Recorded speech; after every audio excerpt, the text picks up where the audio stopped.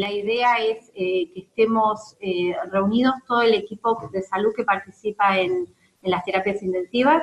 Eh, tendría que estar enfermería, está bien, es como un ausente. para otro momento tenemos que, verlo porque fue un error no haberlo incorporado. Pero vamos a tener una charla con infectólogos, yo como intensivista y otro gente acá de Brujo, porque justo fue la reunión del comité, microbiólogo y la farmacéutica.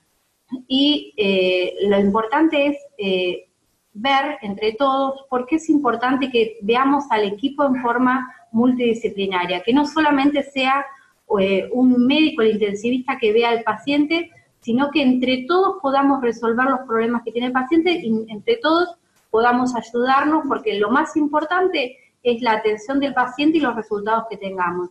Y creo que todos trabajamos para el paciente.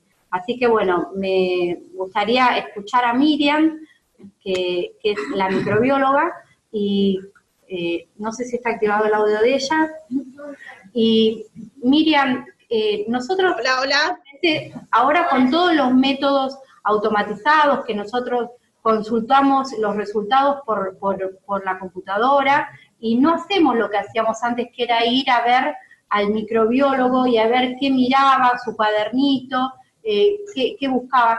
¿Qué necesitas que nosotros te digamos del paciente para poder ayudarte en tu trabajo? Así podemos solucionar las cosas más rápidamente. Bueno, primero, hola a todos. ¿Me escuchan? Sí. sí. Perfecto. Bueno, lo, que necesitamos saber primero, eh, eh, como siempre, la complejidad del paciente. Siempre necesitamos saber qué, tiene el paciente, lo básico si estuvo en internaciones previas, porque nosotros si bien contamos con metodologías eh, para poder adelantar diagnósticos de mecanismos de resistencia, como son coloraciones para detectar la presencia de carbapenemasas, tenemos que saber a qué pacientes hacérselo, porque no es fácil incorporar en toda la rutina diaria ante un vacilo a todos los vacilos eh, hacerle ese tipo de metodologías. Entonces necesitamos, por parte del médico que está solicitando los estudios, saber en quiénes nos tenemos que centrar, quiénes, si bien uno puede leer en las historias clínicas cuánto hace que está internado, qué tipo de tratamientos tiene, eh, qué otros aislamientos tiene, ver global junto con el médico, tanto infecto como terapia al paciente, ante posibilidades de, ante aislamientos que tenemos similares, dar aviso nosotros a control de infecciones por la posibilidad de que exista algún tipo de brote. Eh, el contacto nuestro es permanente, eh, si bien no está avalado, hacemos contacto a través de WhatsApp, dando resultados rápidos, mucho más rápidos que los sistemas informáticos. No sé si todos cuentan con sistemas informáticos para avisar, pero muchas veces tienen falencias esos sistemas informáticos porque no tienen alertas que permitan eh, decir eh, que estoy aislando, que la prueba para ver si tienen mecanismos de resistencia me ha dado positiva. Entonces, hemos ideado otros artilugios, entre ellos el WhatsApp, para informarnos entre nosotros.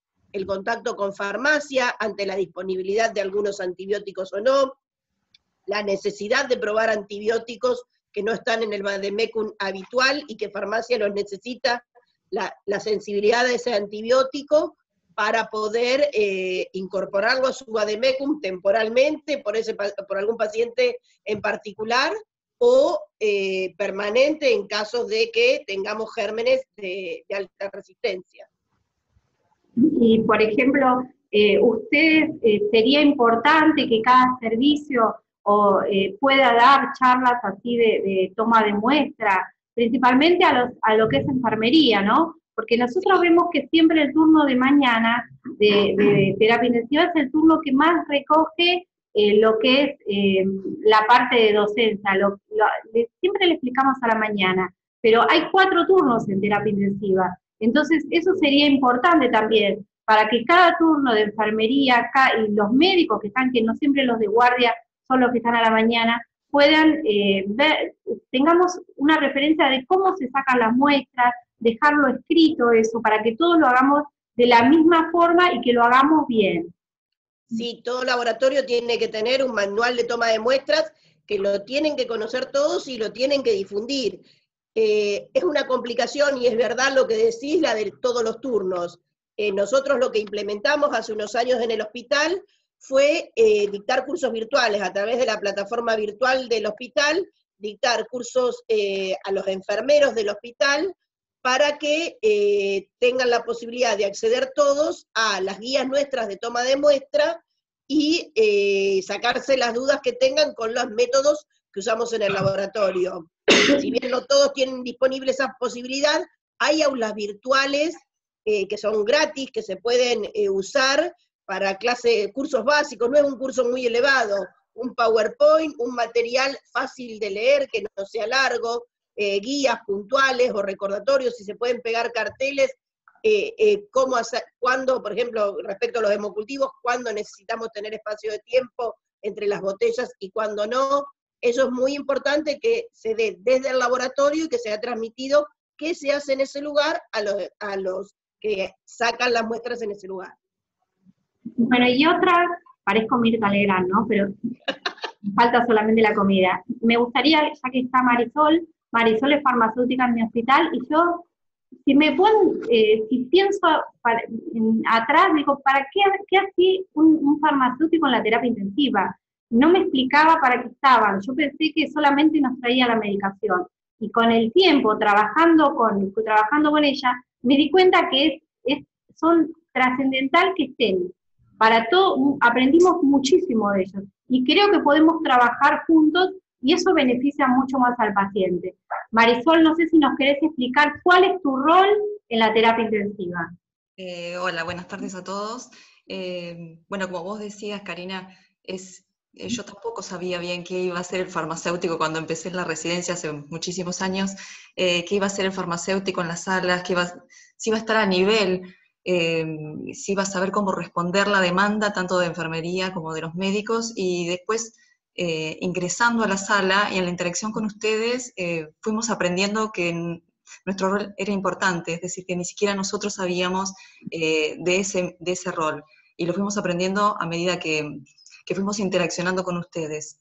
Es importantísimo para que el farmacéutico tenga lugar en las terapias intensivas, que el resto del personal de salud eh, tenga presente que, nuestra tarea o que nuestra presencia es un aporte que seguramente va a generar o va a dar mejores resultados para los pacientes y demás, siempre con el trabajo en conjunto, que es un poco lo que queremos discutir hoy, ¿no? Eh, la importancia de que todos trabajemos en conjunto. Nosotros, eh, como vos decías también, en general se nos asocia con la, la dispensación o con el acercamiento de medicamentos a las distintas salas y no tanto con, una tarea más eh, farmacoterapéutica o de seguimiento farmacoterapéutico. Para los farmacéuticos lo principal es eso, es el seguimiento farmacoterapéutico de los pacientes. Por eso necesitamos estar en la sala, en los pases de sala, para poder intervenir, em, ver cuál es la farmacoterapia que se está eligiendo, em, evaluar fallas, eh, falla renal, falla hepática, las distintas consideraciones que un paciente crítico, eh, extremadamente complejo, presenta, y a partir de ahí discutir con el resto del equipo de salud a ver cuál es la mejor terapia, si necesitamos determinados antibióticos o vasopresores o analgesia, en cualquiera de, los, de, las terapias que pueda necesitar ese paciente, podemos intervenir. Quizá eh, el hecho de que ustedes también vean eh, cuál es el aporte que estamos haciendo y, que empiecen a confiar también en nuestras quizás recomendaciones y acepten esas discusiones y de ahí salen seguramente mejores resultados. Esto no termina ahí, yo creo que si bien eso es lo que nosotros pretendemos, es lograr una mejor farmacoterapia para el paciente, esto incluye eh, el área que yo abordé en, este curso, que fue eh, acerca de la estabilidad y compatibilidad de los distintos medicamentos, cómo deben ser administrados, em, abordar la complejidad del paciente crítico con esa polifarmacia que tiene indicada y que es tan difícil de llevar adelante en la práctica, y ahí em, toma un rol preponderante en nuestra presencia interactuando con el personal de enfermería.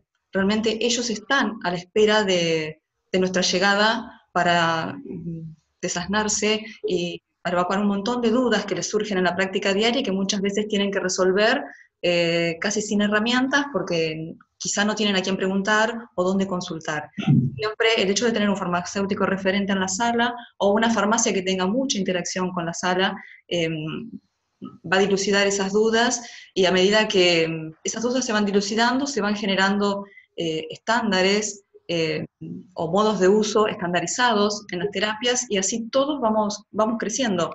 Nosotros aprendemos de las dudas de los enfermeros, aprendemos de las dudas de los médicos, aprendemos del pase sala. Es, lo que se logra es una interacción que creo que siempre resultamos positivos. Eh, siempre Otra cosa que, quizás eh, no digas, solo voy a decir, eh, nosotros lo que también vemos es que ustedes corrigen los errores de, malas indicaciones, porque hay errores que cometemos, que siempre hay, y que hay alguien que los lea y que se fije. Muchas veces tenemos errores en, en la cantidad de medicamentos, cómo los diluimos. Eso es que alguien te esté revisando para que haya menos errores es para nosotros importantísimo realmente. La tarea fundamental de farmacéutica justamente es ser esa barrera, una barrera extra de revisión de la farmacoterapia, de lo que está indicado, y nadie debe ofenderse porque así como todos nos, todos nos equivocamos, somos humanos, errar es humano. Así que eh, es una barrera más, no hay que ofenderse. Nosotros eh, detectamos cosas, muchas veces, por ejemplo, en la terapia en la que yo trabajo, no hay prescripción electrónica. En otras salas sí, pero en esta todavía no ha sido aceptado. Estamos eh, intentando imponerlo. Al no haber prescripción electrónica hay mucha transcripción. Eso, por supuesto, que lleva errores. Eh, la transcripción o la letra ilegible, las enfermeras muchas veces tienen que leer letras que eh, se producen los errores, clásicos errores LASA, por similar, similar nombre o sonido de los medicamentos, y termina pasando una medicación que no es, o una dosis que no es correcta, o a una frecuencia que no es correcta. Se detecta el error y se evita. Simplemente es una, una tarea de, filtro, es un filtro más dentro de, dentro de todos los filtros que tenemos para, evitar errores que lleguen al paciente. Eh, creo que, en la terapia en la que yo trabajo ya esto no es visto como algo ofensivo, nadie se ofende porque todos cometemos errores, también los farmacéuticos a veces aconsejamos algo y quizá no encuadraba dentro de las características del paciente y se revé y por eso es válida la discusión.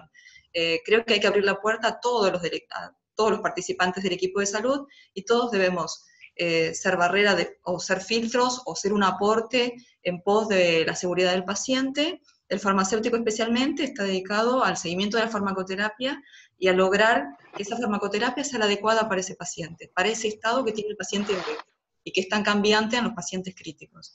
Por eso eh, insistimos tanto en la falla renal, en la falla hepática, eh, bueno, y demás. No sé si esto te responde, Karina, un poco lo que vos preguntaste. No, para mí perfecto. Y la otra pata que queríamos ver es la, la, la, otra especialidad que siempre tiene que estar interactuando con los infectólogos. Y está bien, el intensivista está sumamente capacitado para ver el paciente crítico, eh, pero siempre podemos aprender de, las otras especialidades. Yo al principio decíamos, no, el infectólogo solamente lo llamamos para cuando hay un HB o un trasplantado. Pero cuando empezó a venir una infectóloga que solamente está en la terapia intensiva, lo que aprendimos es enorme. Y aparte lo que, lo que también ella le sirve lo que nosotros le, decimos. Entonces, esa interacción es importante. Y bueno, tenemos acá para ver la experiencia de ellos, Javier, Alberto, bueno, vos Alberto está fuera de Alberto. Alberto está fuera de foco. Ahí está. ¿Qué, pueden comentar? ¿Cuál es el rol del infectólogo en la terapia intensiva? Bien, dale. Bueno, en principio, buenas tardes a todos. Eh, yo creo que eh, yo vengo trabajando primero como terapista y después como infectólogo. Realmente el trabajo conjunto hoy, lo que dijo, lo que estamos todos acá, es un trabajo multidisciplinario, es fundamental para lograr el éxito, ¿no? En definitiva, eh, lo que uno busca es solucionarle eh, al paciente y curarlo de la enfermedad. Y para eso es necesario un infectólogo, un terapista, un enfermero, un microbiólogo eh, y todos los que trabajan en unidad de cuidados intensivos. El ejemplo es la Sociedad Argentina de Terapia Intensiva, que uno cuando empezó acá, hace 15 años, éramos solo especialistas en terapia intensiva. Hoy, en esta mesa ya hay muchas especialidades, incorporó Miriam, que es microbióloga, ahora incorporamos en el curso de la farmacéutica, lo cual hace que sea necesario, pues la cantidad de conocimientos es muy, eh, muy grande como para abarcarlo una sola persona, lo cual eh, nos obliga a trabajar en equipo. Esto es inevitable y yo cuando la escuchaba a mí, a la farmacéutica, a Cari, en, una de las charlas, en la charla mía, y lo escuchaba el doctor Rodríguez, la importancia de, que uno siempre habla de la primera hora del tratamiento antibiótico, y bueno, lo que tratamos de hacer hincapié es a qué paciente uno tiene que buscar el, tratamiento urgente eh, en el uso del antibiótico. Entonces, ¿cuál es el paciente? Es la primera indicación. Y después, identificado al paciente, lograr que ese antibiótico llegue dentro de la primera hora. Lo que estamos viendo y estamos viendo con Javier, que no depende de la indicación del médico, del terapista, del infectólogo, sino que es todo un proceso, y lo que dijo la, Marisol, que como farmacéutica, que es un montón de etapas. Y lograr esas, esa serie de etapas dentro de una hora es realmente difícil. Y eso eh, no depende de estar en un hospital de alta complejidad o, muy complejo, depende de la coordinación de, de las medidas que uno toma y depende de la, realización de procesos, o sea, de planificación. Eso, no lo puede decir una sola persona, sino que lo, decidimos entre varios y lo coordinamos entre varios. Porque en definitiva, que yo eh, decida darle el antibiótico dentro de una hora no quiere decir que el antibiótico sea administrado dentro de una hora.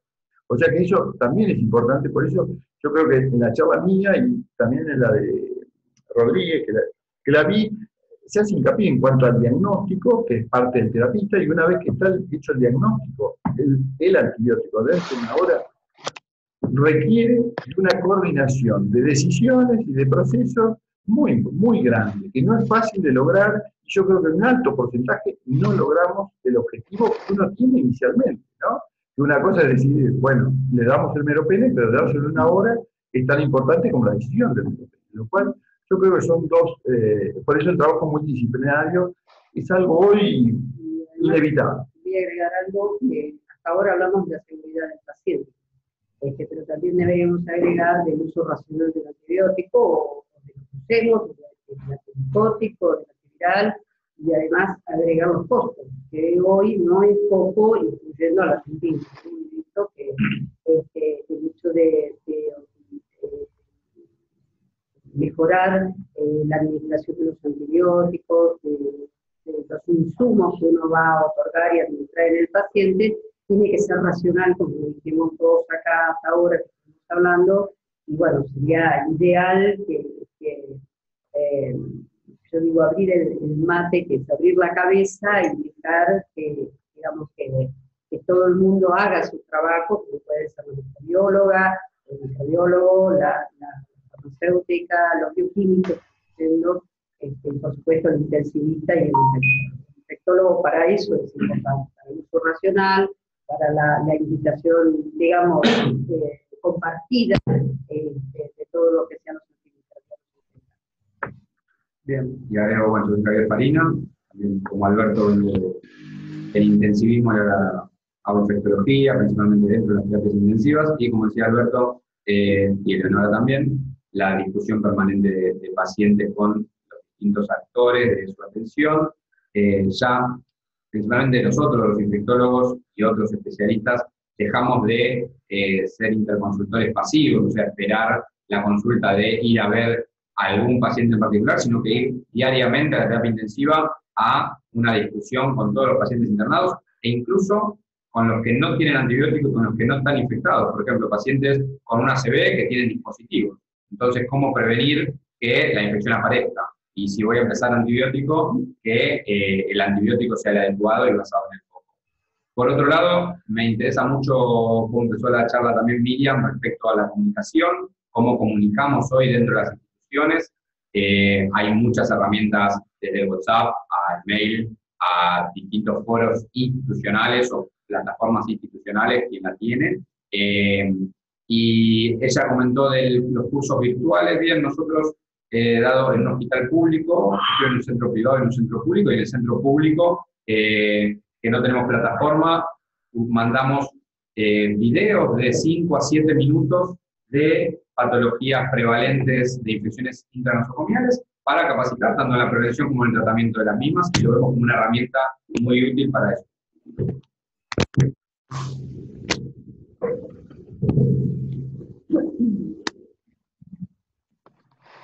Y ¿Hay alguna pregunta?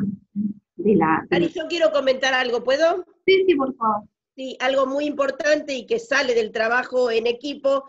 Nosotros lo que hacemos con el Comité de Control de Infecciones, con eh, los terapistas y con, el, eh, con Infecto y Bacteria y Farmacia, armamos guías terapéuticas del hospital, hacemos el relevamiento, yo informo desde Bacterio las resistencias que estamos teniendo eh, en las distintas infecciones habituales que vigilamos en el hospital y se va revisando eh, lo que está eh, como de mm, guía de tratamiento para los pacientes. Es un trabajo en conjunto viendo qué resistencias estamos teniendo, dónde hay mayores preocupaciones, o sea, dónde, en qué procedimientos tenemos más infecciones asociadas, y se va haciendo todo en conjunto se construyó como una especie de semáforo donde está el rojo, que es el alerta, donde tenemos que ver qué está pasando, si los tratamientos que se están dando, eh, o hay algún problema, incluso hemos tenido brotes con algunos gérmenes asociados a la limpieza por el tipo de, mm,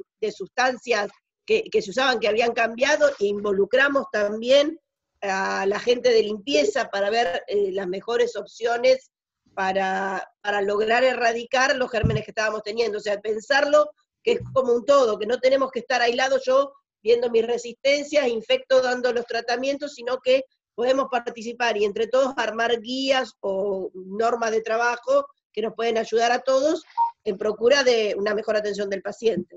Y otra cosa que, que no lo dijimos, pero creo que cada terapia tiene que tener sus tasas eh, actualizadas para saber eh, cómo trabajar, cómo mejorarse diariamente y ver eh, cómo están parados, ¿eh? compararse con otros hospitales y para ver qué gérmenes tienen, porque lo que dijimos, no hay, no podemos darles un antibiótico como lo que decimos que una receta de cocina en general, porque cada terapia ahora va a tener su propia epidemiología, su propia resistencia y va a tener que aprender a manejar sus, los antibióticos que son para esa terapia.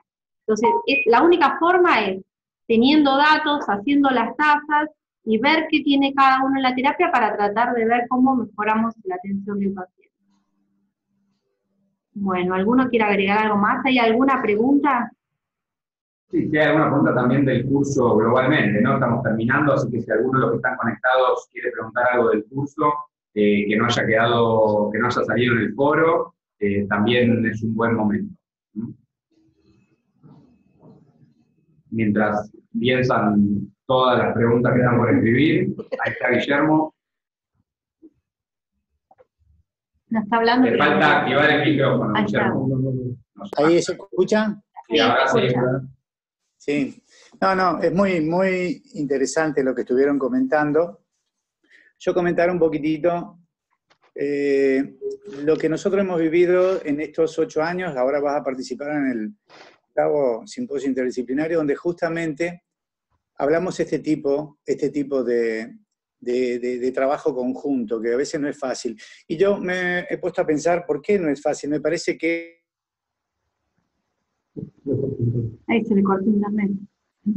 O se nos corta nosotros. No, a nosotros, ¿eh? estamos congelados escucha bien.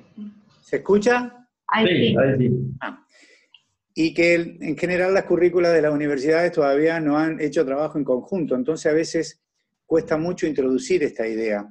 Contarle la experiencia que es el octavo simposio, que trabajamos en forma conjunta en las instituciones acá en Entre Ríos y dentro del simposio, de todas las presentaciones y todas eh, las exposiciones son presenciadas por todos, los especialistas que ustedes nombraron y que trabajamos en forma conjunta, tanto los terapistas, los intensivistas, los infectólogos, los bioquímicos, los kinesiólogos, los farmacéuticos, y que eh, nos ha dado mucho, mucho, mucho deseo de seguir creciendo con esta idea. Tanto es así que siempre lo hemos tratado de transmitir en la SATI y de intensificar las reuniones conjuntas. Realmente nos ha ayudado mucho en el trabajo y lo que ustedes han dicho es lo que nosotros hemos visto en este tiempo que lo hemos intensificado en estos ocho años por el simposio, pero que en realidad lo venimos trabajando hace mucho tiempo. Y yo recuerdo, cuando estuve en Estados Unidos, en Houston, eh, la, importancia, por ejemplo, recién estaba hablando de la farmacéutica, la importancia del aporte que hacían los farmacéuticos allá y que, que todavía uno no, no, lo puede observar aquí. Ellos se acostumbraban a los dosajes, como ustedes lo habían sugerido, y farmacia preparaba las dosis con la cantidad de miligramos de los aminoglucósidos, vancomicina, y realmente en cada una de las presentaciones exposiciones era clase casi una, una este, presentación y una clase de lo que pasaba con el PKPD de ese paciente. Bueno, eso nos ha enseñado mucho, todavía no podemos llegar, pero es a lo que, a lo que realmente vamos a llegar en un momento trabajando bien. Eh, como queremos. Eh, lo que sí es importante asentar es el trabajo interdisciplinario que ustedes estaban estimulando, que en realidad hemos recorrido toda la provincia para que sea así y cada vez lo vemos más. O sea que quería felicitar el curso, he hecho muchos cursos de estas características, pero realmente cómo eh, lo han organizado, la claridad de las presentaciones y la gran predisposición que han tenido. Hoy es la última presentación. Toda la gente nuestra, que somos varios de aquí, hoy no están todos, lamentablemente, porque están trabajando, pero eh, realmente un saludo de todos y felicitaciones por la presentación al Comité de Infectología.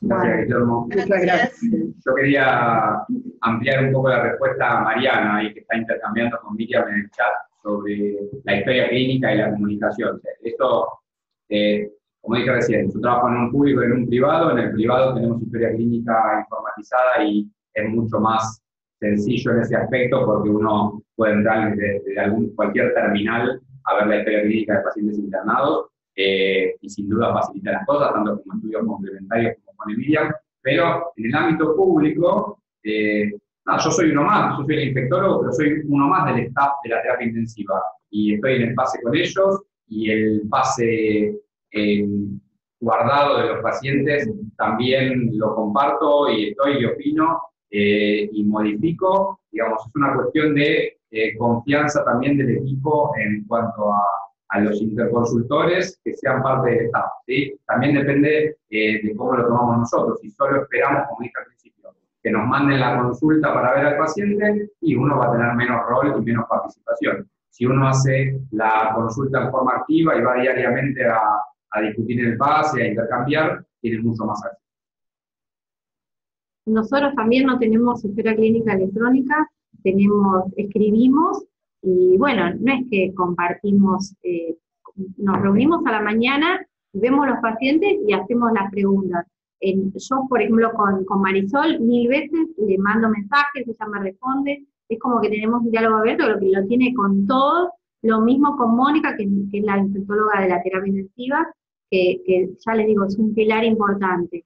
Y creo que así tenemos, ahora hay, hay métodos para, para, comunicarnos más fácilmente. Grupos de chat, de WhatsApp, sin necesidad de que todos estemos en, en, el momento, sino que nos podemos comunicar.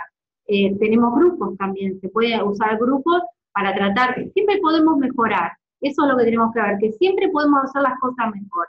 No sé qué querías decir, Miriam.